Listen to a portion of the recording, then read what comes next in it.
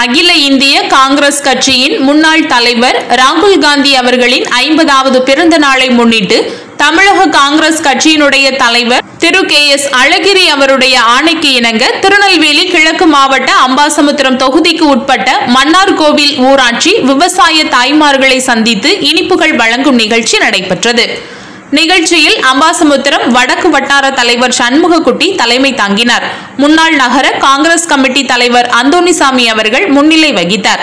சிறப்புரை வழங்கி விவசாயி தாய்மார்களுக்கு மாவட்ட காங்கிரஸ் கட்சியினுடைய துணைத் தலைவர் கிருஷ்ணன் யாதவ் அவர்கள் சிறப்பு விருந்தினராக கலந்து கொண்டு இனிப்புகளை வழங்கினார். நிகழ்ச்சியில் மாவட்ட கொள்கை பரப்பு செயலாளர் முருகதாஸ் நெல்லை கிழக்கு மாவட்ட துணைத் தலைவர் லட்சுமண் யாதவ் மாநில பேச்சாளர் தாஸ் மாவட்ட மகளிர் அணி திருமதி சுதா ஆகியோர் கலந்து கொண்டு சிறப்பித்தனர்.